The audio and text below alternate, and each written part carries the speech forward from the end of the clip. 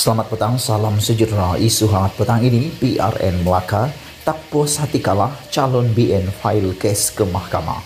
Berita sepenuhnya, tidak puas hati kerana kalah pada pilihan raya negeri PRN Melaka pada 20 November lalu, seorang calon barisan nasional BN daripada AMNO Datuk Seri Muhammad Ali Muhammad mendakwa wujud elemen rasuah membabitkan calon Perikatan Nasional PN.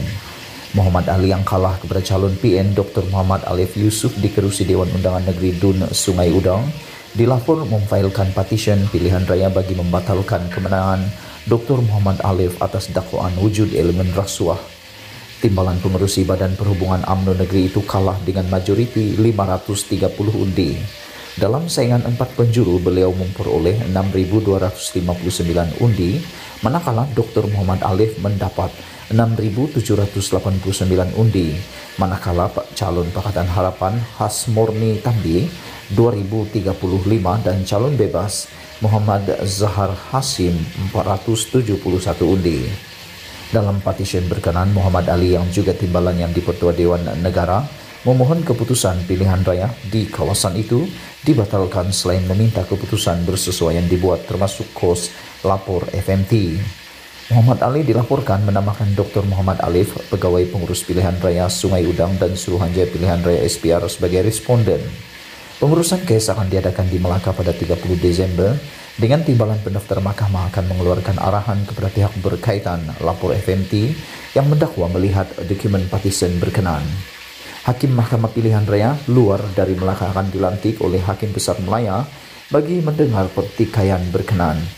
Section 35E Akta Kesalahan Pilihan Raya memperuntukkan pertikaian berhubung semua pilihan raya mesti dilengkapkan dalam tempoh 6 bulan selepas petition difailkan. Memetik laporan FMT dalam petitionnya, Muhammad Ali berkata Timbalan Menteri Pertahanan Iqmal Hisham Abdul Aziz bekas ahli AMNO dan ahli Parlimen Tanah Merah menukar sokongan terhadap bersatu yang kini menjadi parti komponen PN.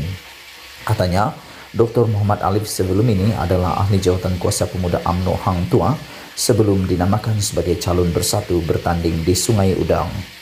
Alif sebelum ini tidak pernah dipilih sebagai ahli Dewan Undangan Negeri Adun yang bergantung kepada Iqmal untuk diperkenalkan kepada pengundi di kawasan terbabit katanya. Muhammad Ali mendakwa dalam pengetahuannya Dr. Muhammad Alif melakukan amalan rasuah dalam pilihan raya berkenan atau dengan persetujuannya atau dilakukan oleh mana-mana ejennya yang tertakluk mengikut kesalahan akta kesalahan pilihan raya Section 32 dalam kurungan C. Mahkamah berkuasa, berkuasa mengistiharkan kerusi berkenan kosong sekiranya calon itu dikenal pasti terbabit dalam amalan sedemikian.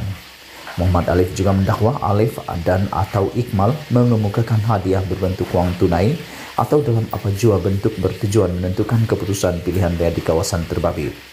Dalam petition itu, beliau berkata sejumlah besar undi tentera mengundi memilih Dr. Muhammad Alif berbanding dirinya susulan dakwaan rasuah di mana beliau akan mengemukakan buktinya di mahkamah.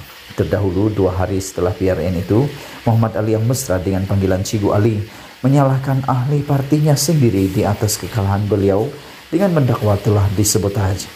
Muhammad Ali turut menyindir ahli UMNO yang sebelum ini hanya berdiam diri dan tidak keluar membantu malah ada yang sanggup meninggalkan parti itu.